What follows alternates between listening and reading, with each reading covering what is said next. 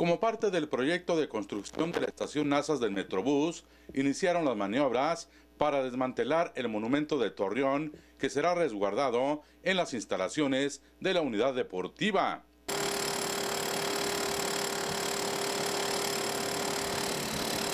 El director de Obras Públicas Gerardo Berlanga Gotés niega que ese ícono de la ciudad vaya a ser reubicado a otro sector del municipio. Una vez que se termine la plaza, estos elementos se van a volver a subir con la grúa a una plataforma, se van a regresar otra vez al lugar de origen que era la plaza y ahí se van a volver a izar y solamente hay que reconstruir el aro que está arriba y obviamente la losa de cimentación que resiste. En total son 18 toneladas, no es un elemento muy pesado, eh, no va a tener ningún problema para que esta nueva plaza soporte pues a este a este torreón. Entonces se resguarda solamente en la unidad deportiva, al terminar la obra, alrededor de siete meses, ocho meses, se regresa al lugar y se vuelve a instalar.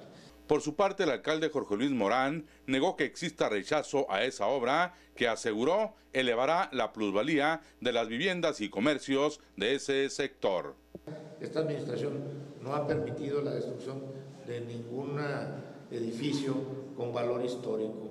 A no hacer caso a esas falsas alarmas y que inventan problemas donde no los hay.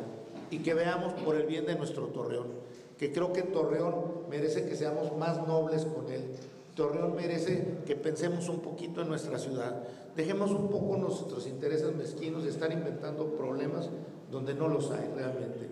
Eh, esta obra viene a darle una inversión y una plusvalía a todo ese sector, elevar sensiblemente la plusvalía de todo ese sector. En la construcción de la estación del Metrobús se invertirán más de 113 millones de pesos. Con imágenes de Alejandro Hernández para RCG Informa, Alfonso Hernández.